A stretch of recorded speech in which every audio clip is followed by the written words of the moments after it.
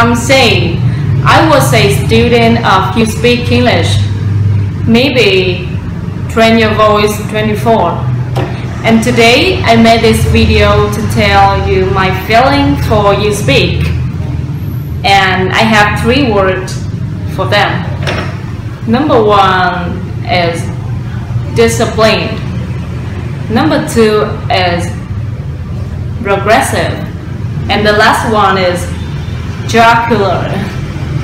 So I will not tell you how much crazy about Uspeak or how much I want to learn in here.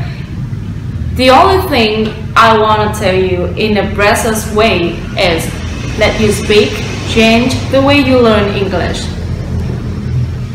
There are two important factors that make someone to be good at English. First of all, you have to try your best. Listen, no one can be you to learn English. And of course, no one can be you to be good at English. Second of all, an efficient method of learning English is what you need, right? And Uspeak will bring it to you.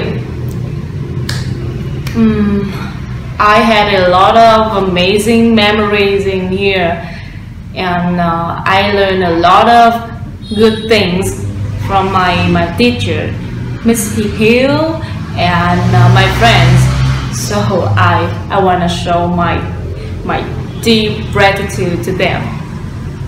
Believe me, go to Uspeak English you will get more than lose. And make sure that you have enough ambition and willingness to make your English perfect. Goodbye.